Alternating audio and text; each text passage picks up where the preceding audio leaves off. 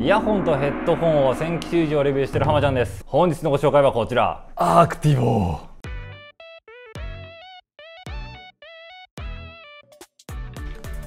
はいアクティボ P1 のご紹介。イヤホンウェブ価格で6万9300円。発売は7月の27日土曜日を予定しています。アクティブを言われてもね何かわからんという人も多いですよね。アクティボというと2012年に韓国ソウルで設立された同じく韓国ソウルを拠点に持つ22年の歴史を持つ。でかつ2億ドル以上の資本金を有する企業である Dreamus Company が世界展開するハイファイオーディオブランド Astell&Kern のカジュアルサブブランドっていうわけなんですね。これ言い方合ってるか分かんないですけどまああの Fender に対する Squier でアクティブ P1 っていうのは再始動第一弾製品とのことなんですね。ってことは今後も今年以降ですね ACTIVO の新しい製品新製品の登場っていうのを期待していいかもって思いました、まあ、イヤホンの昔からのお客さんだと僕も昔使ってましたけど CT10 これ懐かしいですよね。もともと僕も CT10 ユーザーだったんでこのちょっとガチすぎない感じ。ちょっ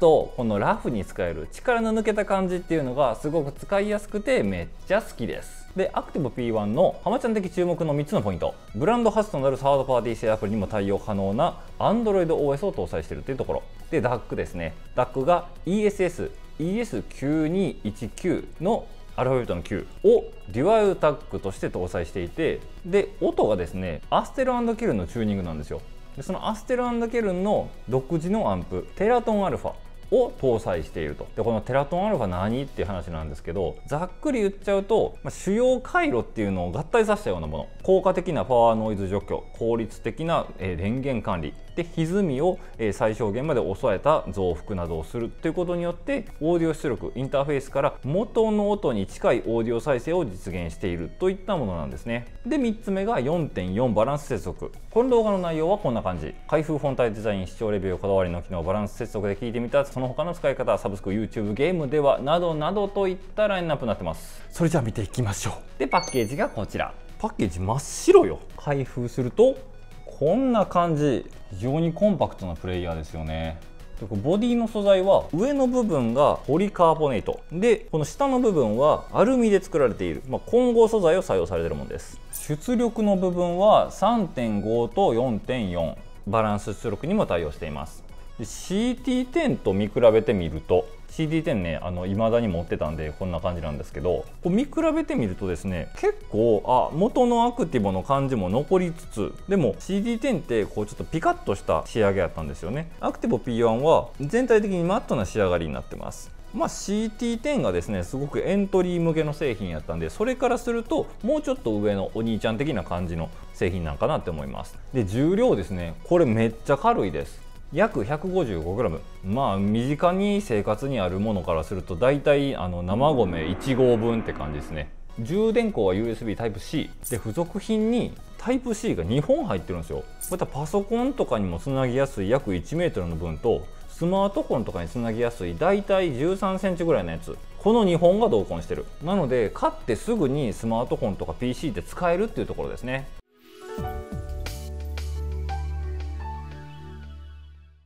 視聴していこう。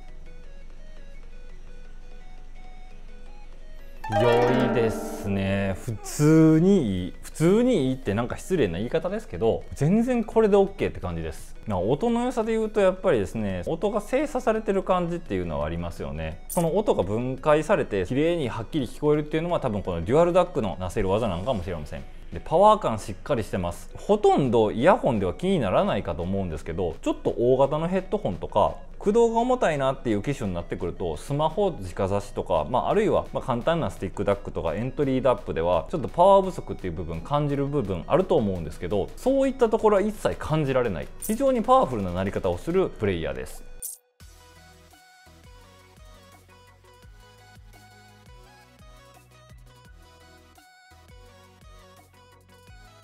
トリーミング再生にも対応してるんですね。でやっぱねこのサードパーティー製アプリも対応可能っていうところここに自由度の広がりがありますね。でね入れてみたんですよ。ご覧ください。じゃじゃーん。何でもいけるやんいう話ですよ。で、まあ、僕が普段使ってるもので言うと、まあ、Spotify であったりとか YouTube ミュージック、サウンドクラウド、Apple Music、Amazon プライムミュージックとかねになるんですけどまあまあもう何でもいけんじゃねって感じです。実験でやってみたのは Spotify、YouTube、SoundCloud、Apple Music あとゲームもね入ったんでゲームに関しては後でちょっと話してみようと思います。でこういろいろ組み合わせてみたんですけどその中でもこの組み合わせがすんごいって思ったのが QDC スーペリア EX かっこいいイヤホン。これがねもうこれじゃないって感じです。すごいシャープに聞こえやすいですしなんせバランスも良くて解像度も高いんです。プレイヤー本体の音の個性っていうのはそこまで強くないかなっていう気がします。まなんとなくローハイが強めな気がしますね。ちょっとメリハリは強めな印象っていうのは感じられました。それもあって全体的にちょっとシャキッとした印象が音全体にあります。ハキハキとした歯切れの良いサウンドっていうのとの相性がいいのでこれはもう QDC スーペリア EX との組み合わせベストマッチなんじゃないかなと僕は思います。でここでちょっと変わったこだわりの機能っていうのを紹介しようと思います。ダックフィルターが変更できるというとこ、えー、パラメトリックエコライザーがついているということ。これが20バンドです。でリプレイゲインが搭載しています。で MQA のフォーマットに対応しています。でルーンレディにも対応しています。とまあ細々もあるんですけど僕がこれいいなって思ったのが Digital Audio Remaster の機能。これ DAR っていうふうにね書かれてるんですけどこれ何が起こるかって言いますとですねまあ言うたらパワーアップしてくれるんですよね。44.1kHz とかの PCM をですね 352.8kHz に変換して再生してくれる。まあ言うたらアップサンプリングっていうふうなことをしてもらえるんです。アップサンプリングするとどんな感じに音が変わるのか。これ結構マニアックな話なんですけどなんかね繊細でアナログライクな感じの音ちょっと落ち着いきつつもクオリティが高いみたいなサウンドの変化っていうのを味わうことができます。これはねまあ一概にその DAR 使えばいいってもんでもないんですけど DAR かけるとどうなるのかなっていうこの興味これは気になっちゃうよね。ちなみにですけどなんかまあデジタルっぽい感じの音源データよりもバンドとか生音とかを使ってるものの方が変化の印象っていうのは好きでした。個人的には元の音よりも DAR をかけた方が好きな傾向が強かったですね。ほいで AK といえばこの機能あるよねっていうやつ。クロスフィード機能。AK のプレイヤーにね搭載されてる機能なんですけどこれ前からある機能で結構好きなんですよ。これ何がって話になると音の感じが自然な広がりが追加されるんですね。でこのクロスフィードの機能何の機能なんて言いますと片方のチャンネルにオリジナルの信号の一部をミックスしてその信号を時間差で反対側のチャンネルにも送ると。でそうすると何が起きるかっていうとこう音像を真ん中にこう定位させるような感じになるんですね。ちょっとねピーカーっぽい着心地に変わるんですよ。まあこれも全部かければいいというもんでもないんですけどそういう感じのニュアンスになったら気持ちよく聴ける音源っていうのがあるんですね。特に僕はライブ音源であったりとかアプリも使えるんで YouTube のライブ音源とか聞くこともできるんですよ。そういった時に力を発揮してくる機能かなと思います。でダックフィルターはですね正直違いがめちゃくちゃ聞き分けるの難しいと思うんですよ。これちょっとすごいマニアックな話なんですけど興味のある人はダックフィルターの聞き比べもしてみてくださいこれ7種類から選べます。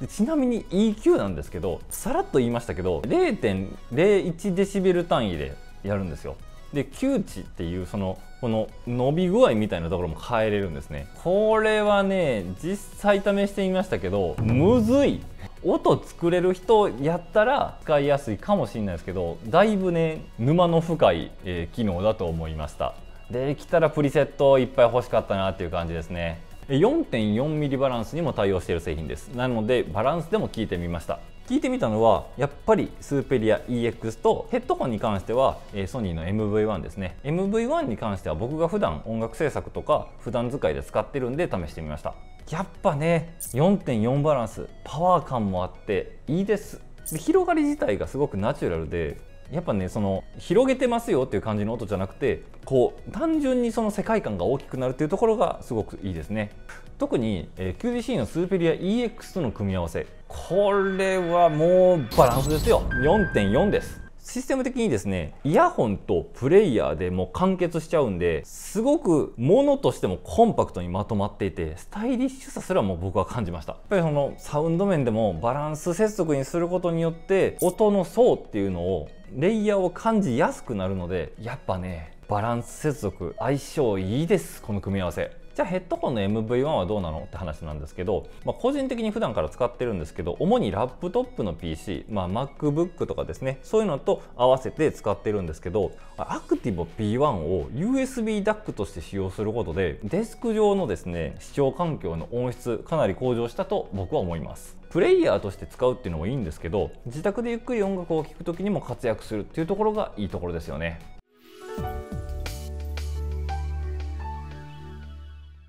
その他の使い方、まあ、USB DAC としてという話をちょっとしたんですけど USB DAC として使用している時にサウンド関連の設定が画面上ですることができるんです。充電モードの切り替えっていうのに対応してます。なので PC やスマートフォンから USB DAC と接続した時にこのバスパワーの充電と内蔵バッテリーの切り替えが可能なためバッテリーをより効率的に使用することができる。嬉しいことに付属の USB のケーブル 1m と 13cm と両方ついてるんで買ってすぐにお試しいただけます。でこれ使い方なんですけど BT ドングルとしてこれね aptXHD LDAC での高音質接続が可能な Bluetooth DAC としての運用が可能なんですよ。Bluetooth のバージョンは5.3に対応していて、まあ、AAC はもちろん aptXHD LDAC とかの高音質コーデックを使う。つまりプレイヤーとしても使えるし USB DAC としても使えるしで Bluetooth の DAC としても使える。これに4.4がついてるっていうところがいいんですよ。手軽に4.4バランスを楽しめるんですけど結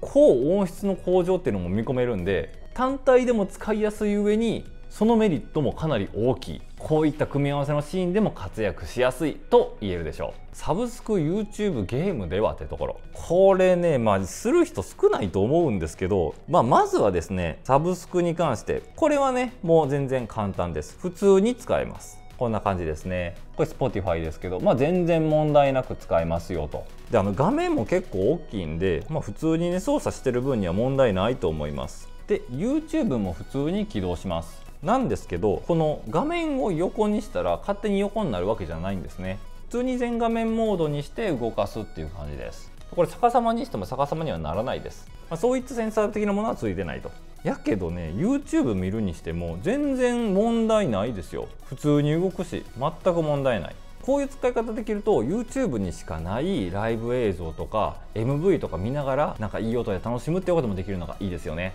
ほいでね、まあ、やる人まあいないと思うんですけどゲームどうなんかなっていうので入れてみました。普通に入るんですよねゲームね。で実験でやってみたのはウマ娘とブルワカ。これは全然問題なく駆動しました。ただですねそんなにスマートフォンみたいにバリバリにサクサク動くっていうわけではなかったです。選択肢を選ぶとかそういったぐらいのレベルやったら全く問題ないんですけどいわゆるその FPS であったりとかあのリズムゲームであるとか、まあ、そういうその素早い操作っていうのが求められるものに関してはちょっとまあ無理があるよねっていう気はします。個人的に気になったポイントで言えばそういった動くっちゃ動くんですけどゲームで使おうとすると発熱が結構あります。なのでまあ動くっちゃ動くけどぐらいに思ってもらった方がいいかも。言うたらまあサブスク YouTube ぐらいまでの利用でいいんだったら全然問題ないと思ってもらったら結構です。まとめ。はい。まあエントリーダッ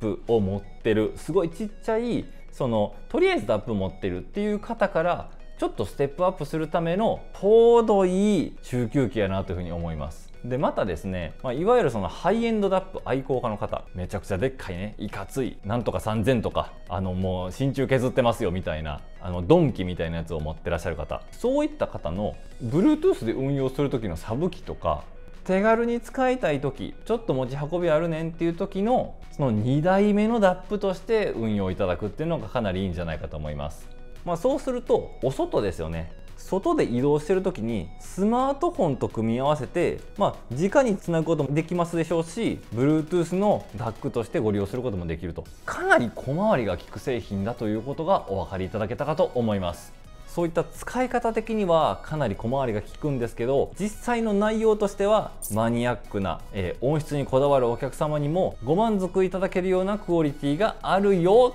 ってな感じ。えおまけパッと見にすごくそのライトな製品っぽく見えるんですけど実際つないでみたらだいぶね音の良さっていうのを感じられると思います。普通に使いやすいし普通に音もいい。でこの価格帯ですからかなりイケてる製品なんじゃないと思いますね。なんかいいプレイヤー欲しいねんけどそんな10万クラスのものじゃないねんなぐらいの方アクティブ P1 ちょっと検討してみてはいかがかなと思いました。